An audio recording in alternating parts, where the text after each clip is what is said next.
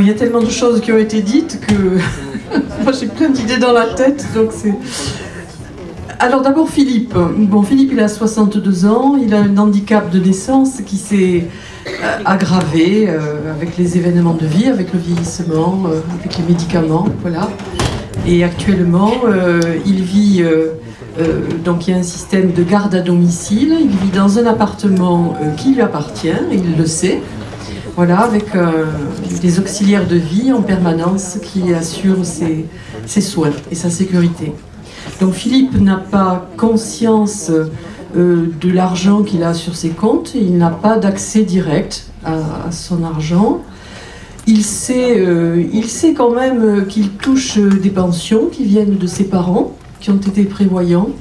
Il n'en connaît pas le montant, mais pour lui c'est important de savoir qu'il y a eu cette, cette transmission. Voilà. Et alors, du coup, euh, on, a instauré quelque chose. Bon, vous savez, c'est les habitudes familiales. Hein. on, a on met toujours des petits rituels comme ça dans la famille. Ça a été instauré par, euh, par notre mère, et puis nous, on a continué. On est deux tuteurs, parce qu'il y a aussi mon autre frère, c'est une, une double tutelle. On est frère et sœur, tuteur de, Philippe. Et donc, euh, quand on va, voir Philippe, ben souvent, euh, on lui donne un billet de 20 euros, comme il dit. Donne, Donne-moi mes euros. Voilà, ça c'est très important. Et Philippe, euh, ben, il aime bien. voilà, c'est tactile l'argent. C'est tactile, c'est sensoriel. Il aime bien ouvrir son portefeuille, sortir ses billets, les toucher les compter, les classer, les re-ranger, fermer le portefeuille, et puis on peut recommencer. Et, ça, c'est important pour lui. Voilà. Et puis, euh, quand on peut le faire euh, avec lui, ben, alors on lui dit, mais qu'est-ce qu'on va faire avec ça? Voilà. Alors là, ben, c'est magique, parce que euh, on, ouvre la boîte de, tous les rêves. Et lui, son rêve, ben, je crois que je l'avais déjà dit, c'est d'avoir un camping-car et de voyager. Voilà, bon. Alors, euh, il a beaucoup voyagé. Il a beaucoup voyagé avec euh, notre mère qui était courageuse et qui conduisait un camping-car. Et, et, puis, alors, je, pensais à ce qu'a dit Monsieur Lebeau ce matin, parce que j'étais très touchée qu'ils disent qu'on avait supprimé les budgets pour les vacances. Alors, ça, c'est. Les transferts. Les transferts pour les vacances, voilà. Parce que Philippe.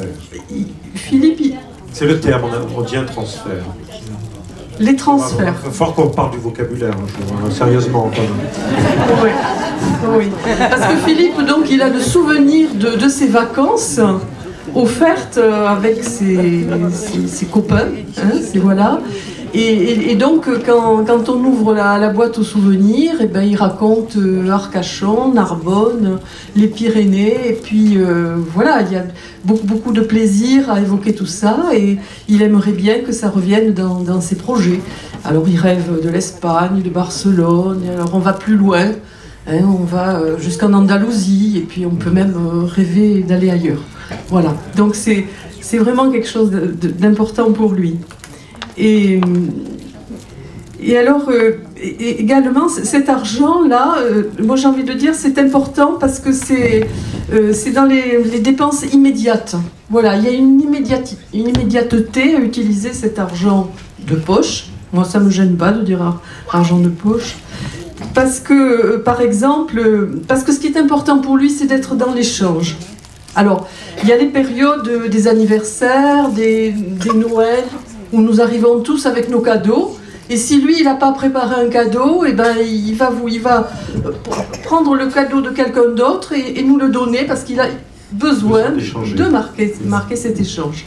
Donc, l'argent de ce portefeuille sert à prévoir des cadeaux. Et puis, euh, deux fois par an, par exemple, euh, il y aura le repas pizza chez lui, où là, il invite tous ses auxiliaires, les infirmiers, le kiné, enfin, tous les gens qui le soignent pour un repas euh, collectif. Voilà. Et il est content de faire ça avec eux.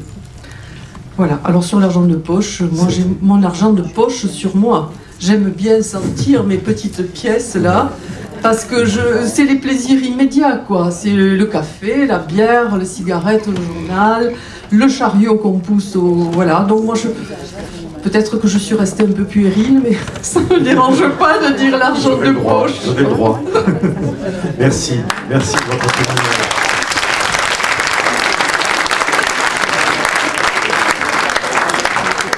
Ça a permis de, de, boucler un petit peu tout ce qui s'est dit depuis ce matin en, montrant que justement derrière l'argent, il y avait donc toute cette, euh, tout cet échange, cette transaction qui euh, se faisait, qui n'était pas financière, mais qui était aussi de l'ordre de l'intime, de l'ordre de l'affectif.